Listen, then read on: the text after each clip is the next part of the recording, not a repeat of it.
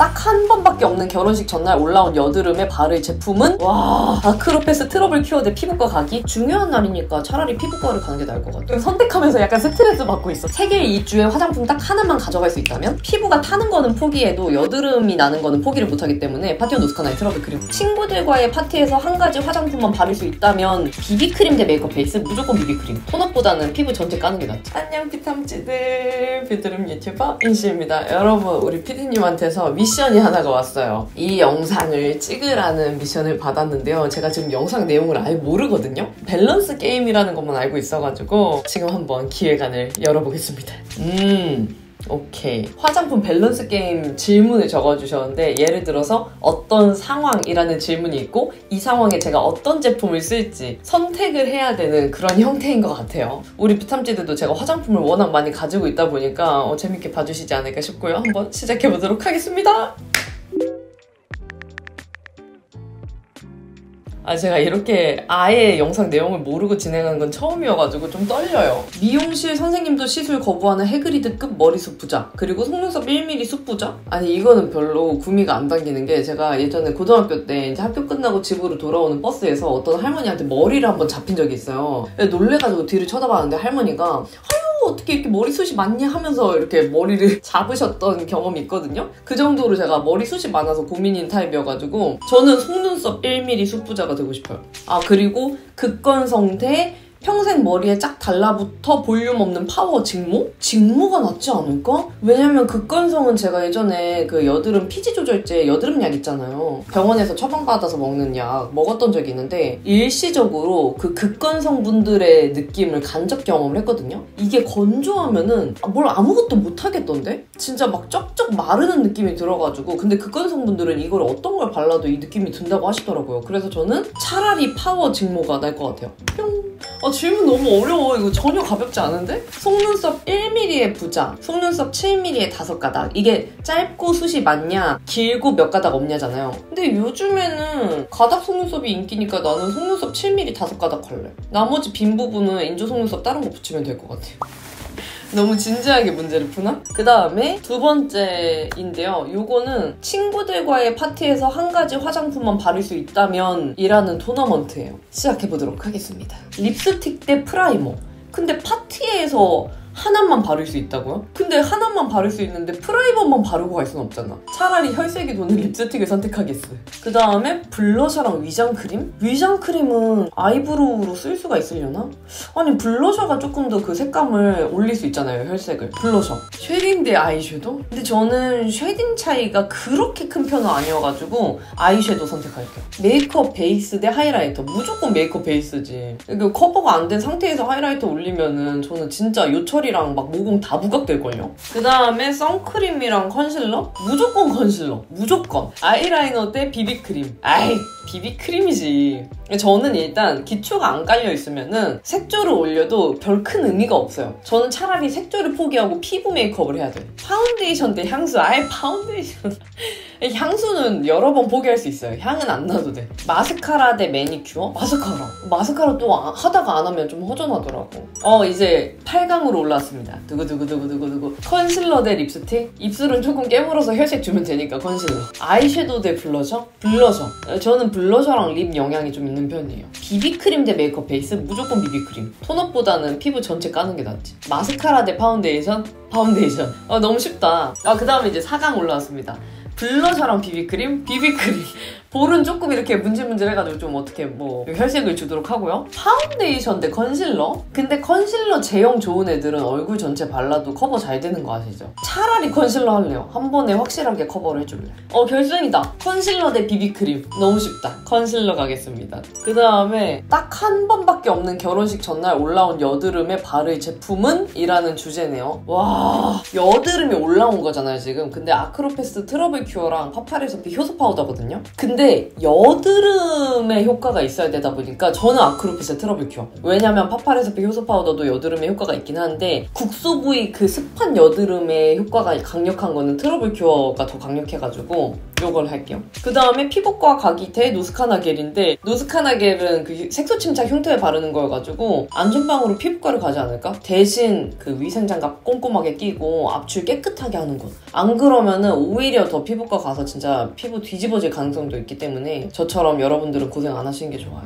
피부과 가기. 다음으로는 에센어브 티트리 100 오일 대 클리어틴 외용액. 이건 쉽다. 에센어브. 클리어틴 외용액은 각질 심하게 쌓여서 각질로 인한 그 가려운 여드름 올라올 때 효과가 좋거든요. 그러니까 전체적인 거 바르는데 여드름 국소 부위는 무조건 에센어브지. 그 다음에 에스로반 연고 대 판토텐산 B5 영양제인데요. 이거 조금 헷갈리는데? 에스로반 연고는 모낭염의 이제 그 진균성 예를 들어서 균에 의해서 생긴 그 염증, 피부염에 효과가 있는 거라서 여드름에 사용한다면 저는 차라리 판토텐산 먹지 않을까요? 근데 판토텐산도 하루 먹는다고 해서 효과가 바로 나타나는 건 아니고 꾸준히 먹어야 되는 거긴 한데 굳이 둘 중에 선택하자고 하면은 판토텐산. 그리고 에크논 크림 연고 대 세비타 비겔 에크논 크림.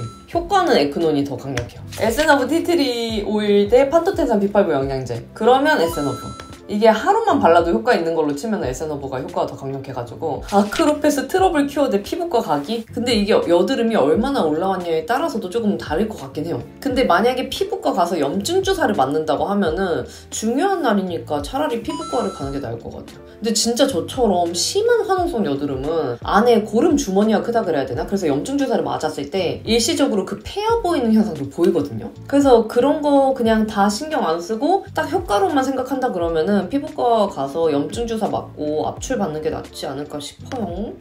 나 지금 선택하면서 약간 스트레스 받고 있어. 너무 진지해져가지고. 다음으로는 몇 강입니까? 3강입니다. 에크논 크림 대 에센어브? 중요한 날 전날에 와 두 개 중에 하나라 그러면은 저는 에센어브 할 것 같아요. 진짜로. 이게 하루 만에 효과를 봐야 되는 거잖아요. 그리고 진짜 안전빵이어야 되고. 근데 둘 다 저한테 너무 안전빵으로 효과가 있는 제품이긴 한데 저는 여드름이랑 모낭염에 가장 강력하다 느끼는 거는 에센어브여가지고 아 에크논도 정말 사랑하긴 하지만 에센어브 선택. 그 다음에 피부과 가기는 그냥 자동으로 올라가나 봐요.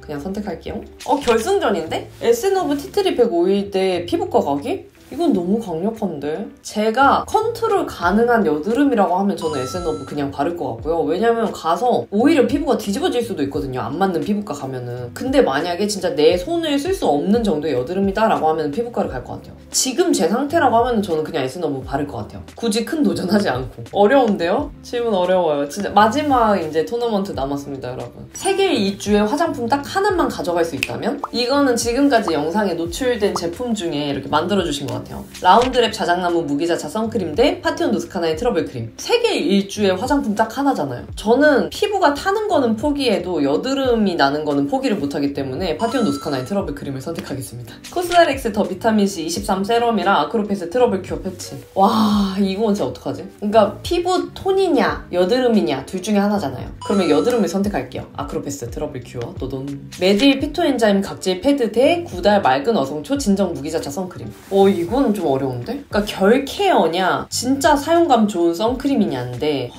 하나? 딱 하나? 저는 각질 패드 선택할 것 같아요. 왜냐면 각질 패드로는 그 각질이랑 여드름 케어까지 같이 해줄 수 있으니까 차라리 피부가 타는 걸 포기할래. 진지해져서 혼자 지금. 어, 에뛰드 진저 슈가 에센셜 립밤이냐 아니면 바이탈 뷰티 슈퍼 레티놀 C 이거 먹는 제품이냐. 제가 입술이 그렇게 건조한 편은 아니긴 한데 없으면 더 불편하긴 하거든요. 근데 요즘엔 또 안티에이징이 너무 신경이 많이 쓰여가지고 정말 의외로 슈퍼 레티놀 C 이 제품을 선택할게요. 차라리 입술이 건조해지고 안티에이징에 도움을 주는 게 나을 것 같아요. 아떼 비건 릴리프 선쿠션 대 프리메라 오가니어스 시드 펩타이드 크림. 어렵다. 와, 둘 다 너무 좋아하는 제품인데. 근데 저는 진짜 선 제품보다는 스킨케어 제품을 더 우선순위로 두고 있어가지고 프리메라 가도록 할게요.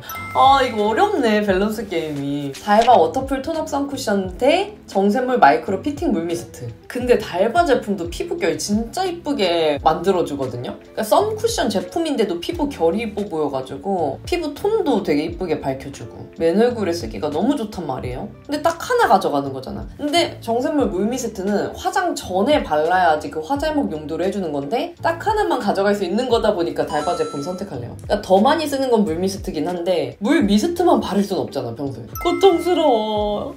이 순간이 고통스러워. 어뮤즈 세라믹 스킨 퍼펙터 쿠션 대 바이에콤 찻물 녹차 워터 에센스. 아 무조건 피부 커버죠. 어뮤즈 제품.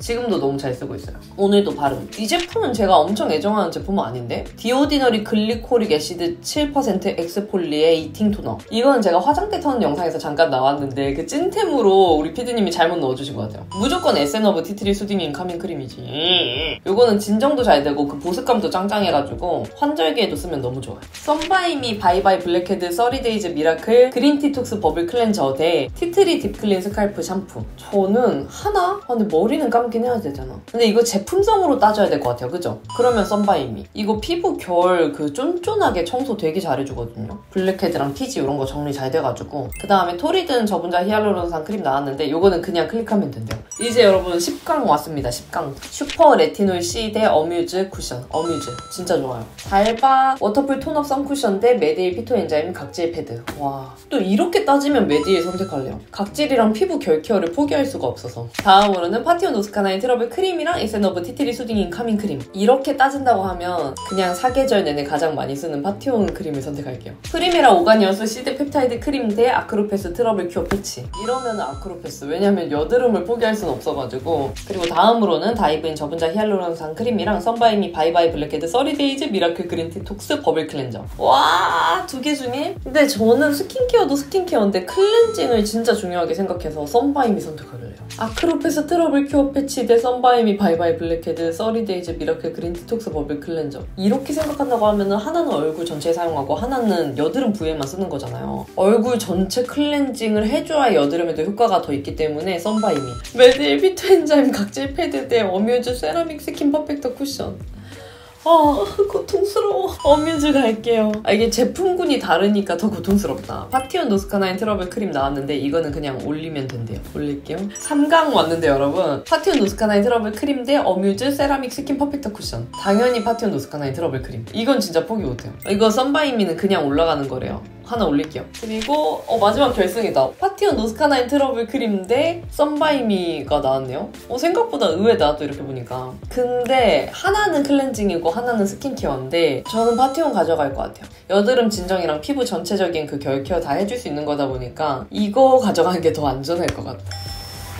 너무 고통스러웠다. 네, 비탐지드 그럼 이렇게 우리 피디님의 요청으로 평소 안 찍는 신선한 영상 한번 찍어봤는데요. 제가 워낙 좋아하고 잘 쓰는 제품들로 대결을 해야 되는 거여가지고 막 제품군도 다르다 보니까 막 이것저것 비교하고 생각해야 돼서 더 어려웠던 것 같아요. 그래도 제가 좋아하는 제품들 한 번 더 확인할 수 있어가지고 재밌었고요. 우리 비탐지드도 가볍게 재밌게 한번 봐주시면 좋을 것 같아요. 그러면 오늘 영상이 좋으셨다면 구독과 좋아요, 알림 설정 눌러주시고 댓글 달아주시면 확인이 바로 되는 댓글들은 답변 달아드리도록 할게요. 그러면 우리는 다음에 더 유용한 영상으로 만나요. 안녕!